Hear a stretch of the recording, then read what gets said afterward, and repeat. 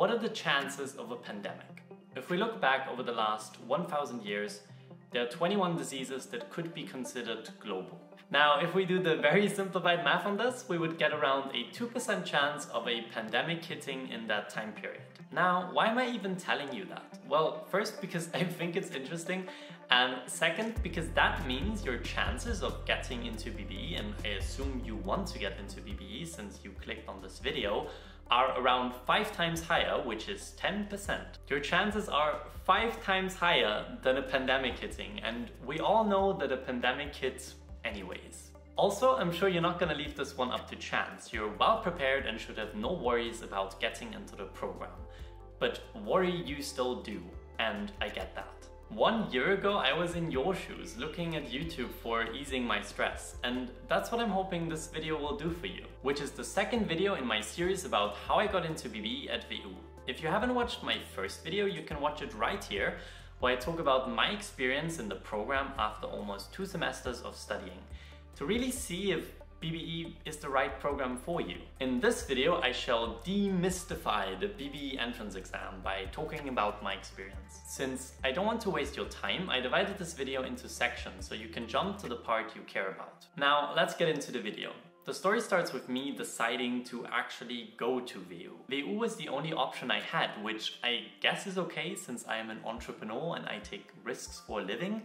Uh, yeah, maybe it wasn't the best idea. So yeah, I decided to go for WU, but to be even accepted to the entrance exam, you have to answer three questions beforehand, which are pretty straightforward. But yeah, I probably spent a good 12 hours on these questions, not all at once, but over several weeks. And in retrospect, it was very unnecessary to do that because many people just wrote a few sentences and got in anyways. I think they mainly use it as a type of spam filter to weed out the people that don't even bother answering the questions. So my advice to you is to not overthink them. Just try to come up with answers in an hour and use your remaining 11 hours to apply to other unis or if you are an entrepreneur like me, use 12 hours to come up with 600 words. Now, at the time, I was also studying for the Austrian A-levels called Matura, and it was a very weird time, and I'm sure you can relate. I wasn't at school anymore, I was just at home, supposed to study all day. It was this weird state of limbo where I worked towards this goal and I didn't really know what to do afterwards. Like, I had the plan with uni, but it was still kind of a very far away, abstract type of goal I didn't understand. It, it, was a very confusing time. Anyways, Matura turned out fine, and with that, I was done with one of the longest chapters in my life. And that didn't mean that I could stop studying and just relax. No, no, no, quite the opposite actually. That was when I started to study for the entrance exam, which was roughly four weeks away at the time. I studied based on the very limited information available to me. It said that the exam consisted of a business and mathematics part. Because I did my Matura at a business school, I already was quite familiar with the business part, which was mainly about supply and demand, marketing, and an introduction into accounting. The maths part was what was challenging to me because we didn't have maths in English at school, we had it in German. So I had to learn all this complicated mathematical vocabulary, and on top of that, complicated mathematical notation, which we didn't use that much in school. But you have to keep in mind that that's not just important for the entrance exam, but also for your studies later on. Well, for the maths part, I started studying the examples of past maturas that are translated into English, since in my case, they were very similar or I mean, they were the same as the ones we got at the exam, just with changed numbers. Next, you should take a look at the mathematics book they recommend. And please don't buy the book, it's quite expensive and you can find it with a bit of googling. This book should bring you up to speed with the heavy mathematical notation they use at the test and also the English vocabulary. In my school we did a lot of the derivation and statistics on our laptop and the thing is that you're not allowed to use that for the entrance exam. You're just allowed to use a simple calculator. And I can't stress this enough, please check if your calculator is accepted at the entrance exam and you can look that up online at the WU website. If you went to school like me and already forgot most of the calculus, I suggest you familiarize yourself with it again because That is one of the main parts of the exam. The book they provide is actually a great learning resource for that. And if you don't get the stuff in the book, there always is Khan Academy to save the day. As mentioned, I already knew a lot of the business stuff, but I still made a very comprehensive mind map of the booklet we got in OneNote and I actually linked it in the description for everyone that had an attention span long enough to make it to this part in the video. I suggest you go over it every day and by the exam you will have probably not just understood everything but probably also learned it by heart. So next, how much did I study?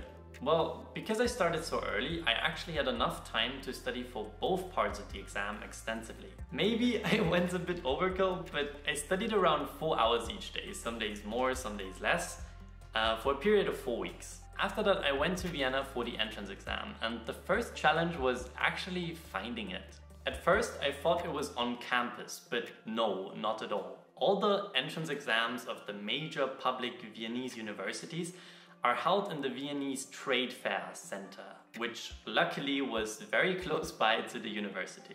Of course, at this point, anticipation was already killing me. And once we finally found the entrance, we walked through a hallway that was as long as you would have it in an airport, which certainly didn't help with the stress. Next, we queued in another huge hall, and some people were trying to make conversation, but I was just way too agitated to talk to anyone, so I just kind of sat there. After that, we were allowed to go into the examination hall and were assigned to our desks. And while sitting there, I noticed that the stage they had in the middle, where the vice rector and the other professors sat, looked a bit like the the bridges, you know, like the command centers they had in the Star Wars uh, Star Destroyers. I think that was just my mind trying to kind of soothe my soothe my stress away. Anyways, after that the exam started and now to the part all of you probably have been waiting for, the content.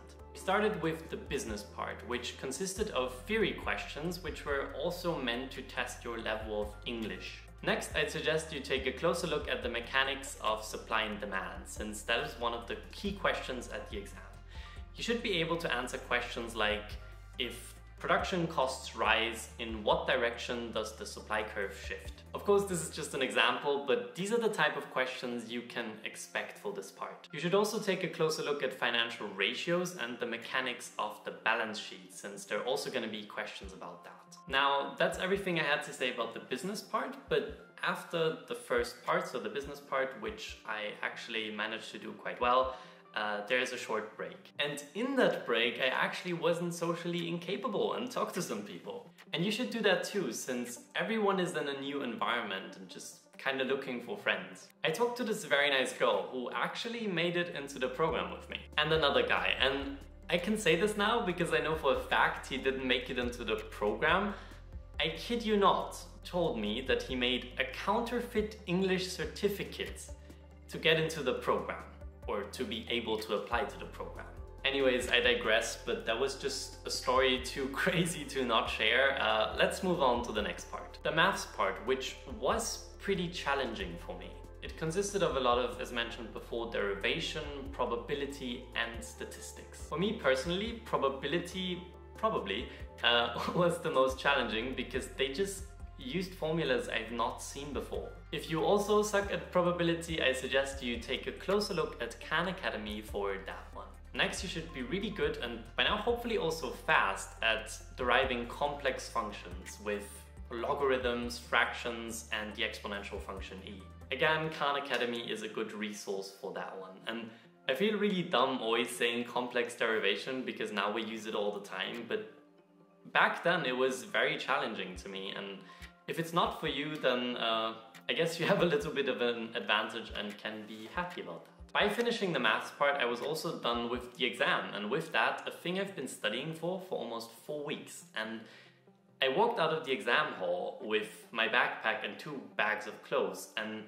with that, just kind of moved to Vienna, but that's another story. Now, fast forward a month when the results were released. By then, as I said, I already kind of was living in Vienna and I was pretty sure I didn't get in because I did struggle at the maths part quite a bit. So I got an email that the results were released and funny story, I actually met this person in Vienna who I already had on Snapchat by then and we both posted to a story that we were surprise, surprise, accepted. That's why I'm making this video. So yeah, we both posted in our story that we were accepted and it was just this very random moment where we were like, oh wow, we go to the same university now. And yeah, so I was ecstatic because I didn't have a plan B as mentioned. So that was just an amazing moment of euphoria. Now wrapping up, please don't stress as much as I did.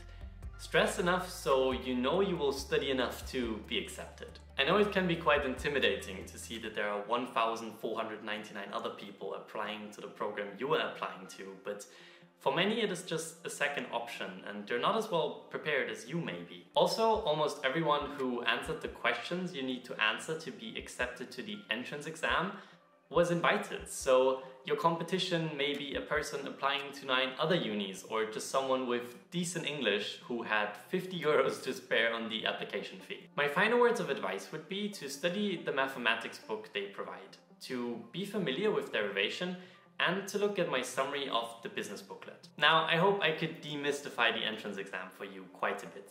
I tried to be as thorough as possible, which might have been boring at times, but I think it was very important to give a holistic account of my experience. By the way, if you're wasting your time and have issues studying, I suggest you watch my video, Waste of Time, to not waste your time. And with that, I shall see you in the next video, in which I will talk about this year's online entrance exam at WU.